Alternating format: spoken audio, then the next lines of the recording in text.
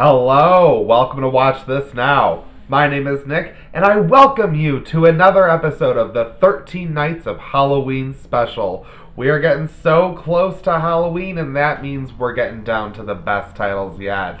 I'm digging up a classic for this one, as you already know because it's in the description that you clicked on The Evil Dead, the original from 1982. This film is one of the most inspiring and terrifying horror films, in my opinion. While it's low budget look and feel might not do it for everyone. I look past that because I see all of the creepy horror and such well done gore that makes this a worthwhile trip to go on again and again and again and again and again. The Evil Dead is about a group of five college students who head to a cabin in the woods for a weekend of fun. Sounds familiar, huh? This is the original though, folks. This is the one that set up the idea of the cabin in the woods.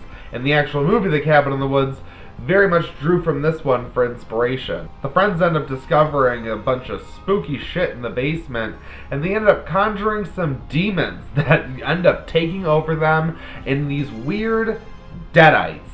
They are odd zombies that still have some sort of consciousness and kind of satanic powers at times. It's not very well defined, but you know what? It doesn't matter because this whole movie is just a whole bunch of fun. Again, it is so low budget and schlocky, but I think that's what adds to the overall charm of this film. And that's probably why it's a horror film that has withstood the test of time and it's one that we go back to, especially now during Halloween you gotta have a cabin in the woods movie, and this is the perfect one. What I love about The Evil Dead is that it manages to balance both scary and gory. I saw this when I was a kid, way too young. I had a weird habit as a kid of walking into the room when a scary movie was on, like all of the wrong parts. I did that with this one. Saw all of the wrong parts.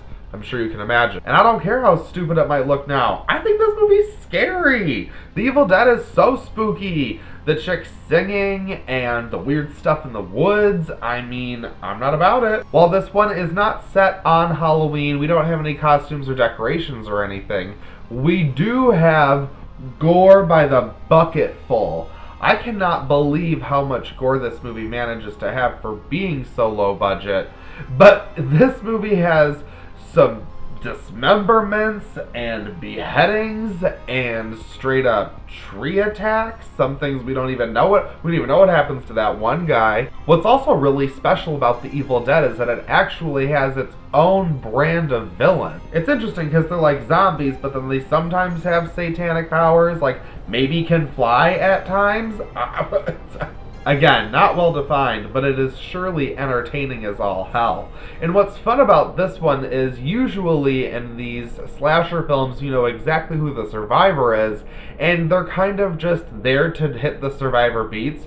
What's great about the Evil Dead series is that it has the character played by Bruce Campbell, Ash, the most charming hero ever. It's no wonder there's a whole franchise built around him. It doesn't really matter who else gets picked off. We have a solid central character that we can spend the majority of this film with, and we're never tired of spending time with that character. I love that. That's another one of the things that makes it so easy to come back to this.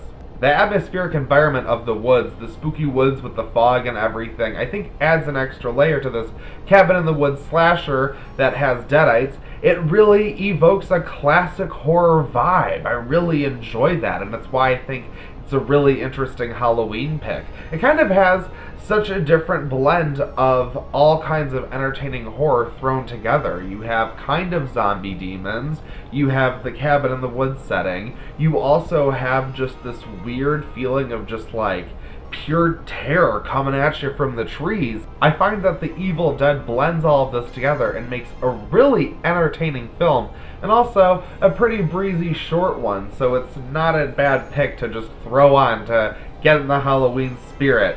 What are you watching to get in the Halloween spirit? Let me know in the comments below. Let me know, of course, what you think of The Evil Dead. I absolutely love it.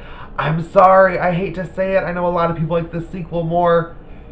I don't. I'm sorry. I don't like that movie, and I don't like Army of Darkness. I just like the first Evil Dead and then the remake. I'm just not into that gross out comedy. It is so not my thing.